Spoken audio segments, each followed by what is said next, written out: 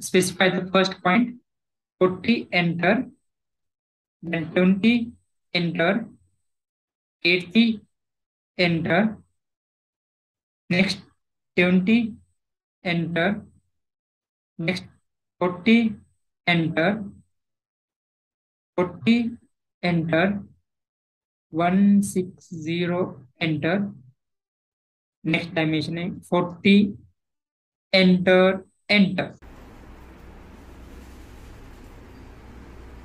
Python. the mobiles